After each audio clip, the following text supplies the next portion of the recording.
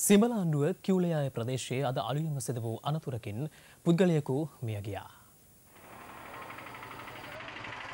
අදල්යම තුනයිතියට පමණ වැලිමඩ සිට කළමුණේ දක්වා එලවලු ප්‍රවාහනය කරමින් තිබූ ලොරියක් කිව්ලයාය ප්‍රදේශයේදී බෝක්කුවකින් පහල්ට වැටේ තිබුණා අනතුරින් මියගියේ ලොරියේරිය තුරයි.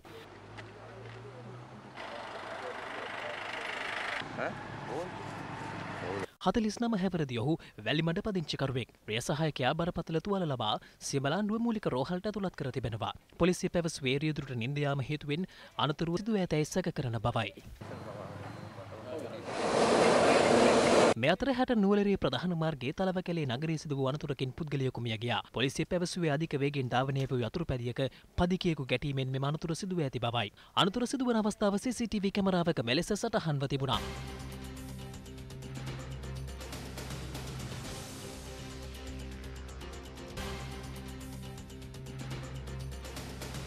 අනතුරින් මේ ගේනානුවේ ප්‍රදේශයේ පදිංචිව සිටි හතලිස් හත් හැවරදි පුද්ගලයෙක් යතුරුපැදි කරුස්සක පිට අත්අඩංගුවට ගෙන ඇතැයි පොලිසිය පැවසුවා. ඔහු අද නූලේ මහේස්ත්‍රාත් අධිකරණයට ඉදිරිපත් කිරීමට නියමිතයි.